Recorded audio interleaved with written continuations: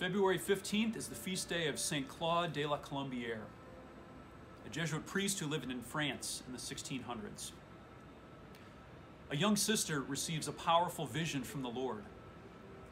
A young priest is sent to listen to her and help her.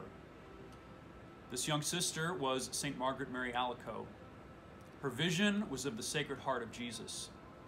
St. Claude was that young priest who heard her words and found that these were, in fact, visions from the Lord, a vision of hope and love during a time of coldness and despair.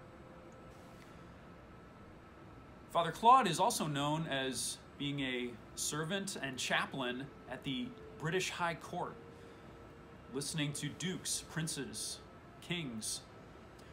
He was eventually forced out by infighting among the royal court themselves. Today we honor Father Claude as a patron of the Sacred Heart of Jesus. Father Claude worked to promote this beautiful devotion. Christ who pours out his love for us, that great love in his heart, a love for his Father and a love for all of humanity. Father Claude was convinced that these visions were from God. His heart was one open to communion, open to hope. This is the heart of Jesus. This is also the heart of St. Claude as he grew more and more in his love for the Lord through these holy devotions. He went on to promote things like prayer before the Blessed Sacrament, First Friday devotions, that means going to Mass on the first Friday of each month. Also, the frequent and worthy reception of communion. In his Sacred Heart, Jesus says simply, Behold my heart, which has loved mankind so much. Father Claude worked to spread this message around the world.